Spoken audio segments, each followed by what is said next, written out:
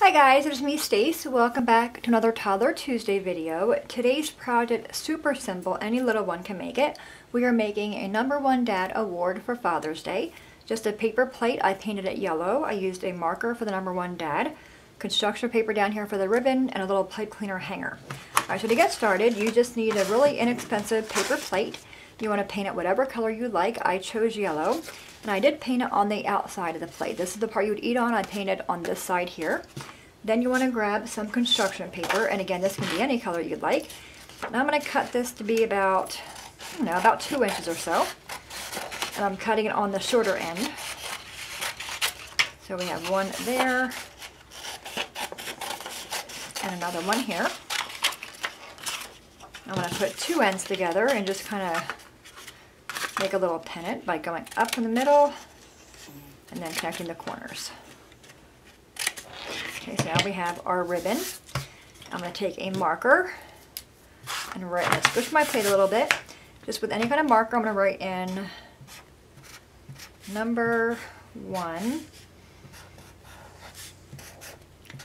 dad. It can also be number one mom, grandpa, uncle, okay? All right, so we're going to take our ribbon and some scotch tape, flip our plate over, and attached our ribbon. Okay, super fun, right? Isn't that cute? So simple. I'm A little bit crooked. That's okay. We'll bring it back out and do it again. I'm going to kind of hold it like this. There we go. So you want to hold your plate up, make sure you're straight. You can do that as well. Okay, so we have our ribbon on there. Now we need a little hanger, a spot for our hanger. I'm going to go and take a big bite. If you don't have um, this you can use a hole punch, you can use a pin or a pencil just to kind of get a hole going up here. And I'm going to poke a hole right here and right here and hopefully I'm, I'm a little off by a little bit. All right, take a pipe cleaner. You're going to go through the front. Bring it all the way through your two ends. And just basically just kind of twist these guys together up top to form a loop.